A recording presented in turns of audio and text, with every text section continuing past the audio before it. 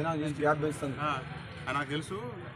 Statement ఇచ్చినాడు కదా నాకు గుర్తు అంత వెంకటేశ్వర గురించి మీరు సభగా కన్నాక వెంకటేశం ఉంటే ఎవరితో ఉంటే వాళ్ళతో మంచుకుంటారు కానీ ఒక వ్యతిరేకం చేసి కొట్లాలు పెట్టుకుని అది చేసుకుని అంత అవసరం ఏముంది ఇప్పుడు అసలు?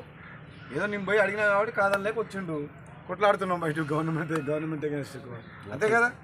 టీఆర్ఎస్ పార్టీని అధికారంలో అధికారం నిలబెట్టుకుంటేందుకు మళ్ళీ అధికారంలోకి వస్తేందుకు నిర్ణయాలు తీసుకుంటాడు కానీ ప్రజల కోసం కాదు ప్రభుత్వం ఆర్థికంగా బాగుండాలి.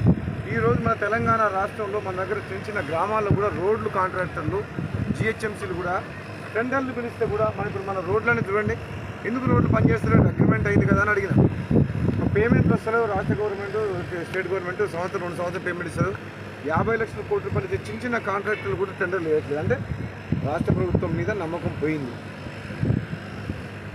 ఈ విధంగా రాష్ట్రాన్ని అధోగతి పాలు చేయడమే కాక ఇంకా ఉల్టా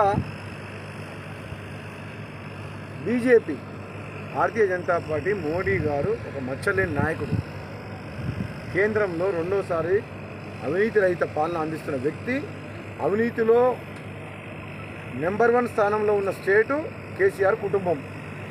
కేసీఆర్ ఆస్తి ఎంత? రెండు వేల పద్నాలుగు కంటే ముందు కేసీఆర్ కుటుంబం ఇప్పుడు ఎంత తెలంగాణ ప్రజలందరికీ తెలియదా లక్షల కోట్లు దోసుకుని ఎనిమిదిన్నర సంవత్సరాలు కేసీఆర్ కుటుంబం. ఎక్కడి నుంచి వచ్చినాయి పైసలు? అధికారాన్ని అడ్డం పెట్టుకొని. కొడుకుని ముఖ్యమంత్రి చేద్దామని కళ్ళు కంటుండు. కాబట్టి తెలంగాణ ప్రజలు ఈసారి మునుగోడులో ఒక చారిత్రాత్మక తీర్పిస్తారు. ఈ ఈ తీర్పు ద్వారా తెలంగాణలో మార్పు వస్తుంది ఒక ప్రజాస్వామ్యం ఏర్పడుతుంది. ఎన్ని మాట్లాడినా సరే ఎన్ని పథకాలు పెట్టనియండి? ఎన్ని సంక్షేమ పథకాలు తీసుకొచ్చి ఇప్పటికిప్పుడు మొన్నటి వరకు మునుగోడు గురించి పట్టించుకొని ముఖ్యమంత్రి ఈ ప్రభుత్వం ఈ మంత్రి ఈరోజు పొద్దున్న లేస్తే మునుగోడు గురించే మాట్లాడుతున్నారు చండూరు మున్సిపాలిటీ రోడ్లు వేస్తుండ్రు. తెలంగాణలో ఎక్కడ ఇవ్వకుండా ఇక్కడ గొర్రెలు గొర్రెలు ఇస్తుండ్రు. అది కూడా టీఆర్ఎస్ కండువ కప్పుకుంటే గొర్రెలు ఇస్తామంటున్నట్ట మంత్రి. ఏమైనా కళ్యాణ లక్ష్మి చెక్కులు ఇవ్వడం పెన్షన్లు ఇవ్వడం అంతేనా? మన మంత్రి చేసింది? సిగ్గుసరం లేదు. ఇంకా మాట్లాడుతుండు ఉరికించి కొడతాడా ఎవరిని ఉరికించి కొడతాడు సూర్యాపేటలో చూసుకోవచ్చు అతను మునుగోడులో అనవసరంగా తిరిగినా కానీ డిపాజిట్ పోవడం ఖాయం. కనీసం క్యాండిడేట్ కూడా డిక్లేర్ చేసే పరిస్థితి లేదు మీ టీఆర్ఎస్ పార్టీ ఈరోజు పరిస్థితుల్లో అవునా కాదా? భయపడుతున్నారు క్యాండిడేట్ డిక్లేర్ చేద్దామంటే. డబ్బు సంచులు పట్టుకొని సర్పంచులని ఎంపీటీసీలని కాంగ్రెస్ పార్టీ నాయకులని నా వెంట వద్దామనుకున్న కాంగ్రెస్ పార్టీ నాయకులందరికీ సర్పంచ్లకు ఎంపీటీసీలకు ఇరవై లక్షలు ముప్పై లక్షల రూపాయలు ఇచ్చి కొనుక్కుంటున్నారు. ఈరోజు టీఆర్ఎస్ పార్టీ పరిస్థితి అది. నువ్వు చేసే మంచి పనులు అయితే నీ మీద నీకు నమ్మకం ఉంటే నీ ముఖ్యమంత్రి గారు చేసిన సేవలు బాగుంటే కాంగ్రెస్ పార్టీ నాయకులందరూ రాజగోపాల్ రెడ్డి వెంట నడవాలని నిర్ణయం చేసుకున్న తర్వాత వాళ్ళ దగ్గరికి డబ్బులు ఇవ్వాల్సిన పరిస్థితి ఎందుకు వచ్చింది? జగదీశ్వర్ రెడ్డి ఇప్పటి వరకు తక్కెళ్ళపల్లి రవీందర్రావు జగదీశ్వర్ రెడ్డి రాజగోపాల్ రెడ్డిని ఓడగొడుతందుకు రెండు ఊర్లకు ఒక ఎం ఒక ఎమ్మెల్యేనా?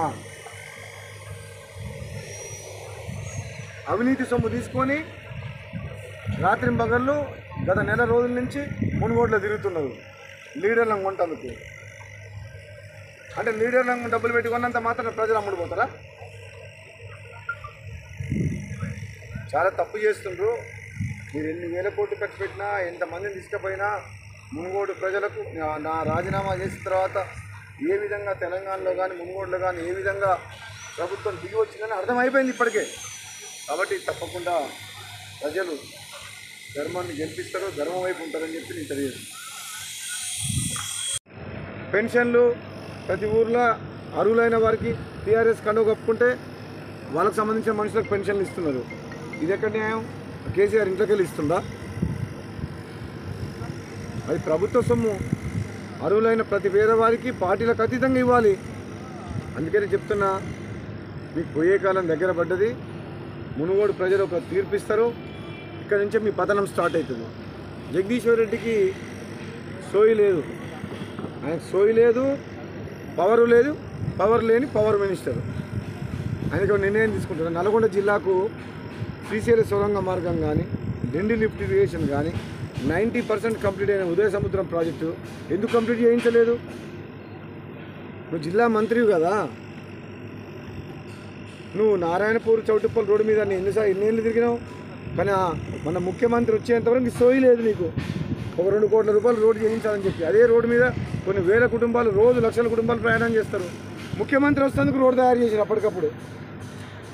ఒక పక్క చేసి ఇంకో పక్క వదిలేసిండు అంటే ప్రజల కోసం లేదు ఈ ప్రభుత్వం. ఆయన ఫామ్ హౌస్ చుట్టూ రోడ్లు ప్రగతి భవనం సిద్ధి సిరిసిల్ల సిద్దిపేట గజ్వేలు అంతే.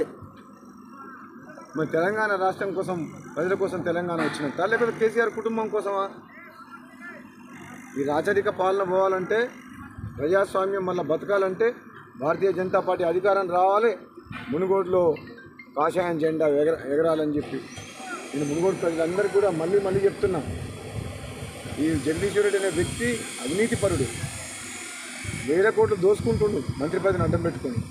ఈ కూసుకుంటా ప్రభాకర్ రెడ్డిని వెంట పెట్టుకొని తిరుగుతున్నాడు కానీ జనంలో నమ్మకం లేదు. జనం నమ్మట్లేదు. ఎందుకంటే కాదు అంతకుముందు ఐదేళ్ళు ఉన్నప్పుడు టీఆర్ఎస్ ప్రభుత్వం మున్మూడు నియోజకవర్గానికి ఏం అభివృద్ధి చేయలేదు. ఇండ్లు లేవు రోడ్లు లేవు హాస్పిటల్స్ లేవు స్కూల్స్ లేవు మున్గోడు మొత్తం వెనుకబడిపోయింది. మరి ఎందుకు అడుగుతలేరు? ఐదేళ్ళు ఎమ్మెల్యేగా ఉండి ఏం చేసిండ్రు? నేను మూడు మూడున్నర సంవత్సరాల్లో ముప్పై సార్లు మాట్లాడిన అసెంబ్లీలో మునుగోడు గురించి. ఎప్పుడన్నా మా కూసుకుంట్ల ప్రభాకర్ మాట్లాడిండా?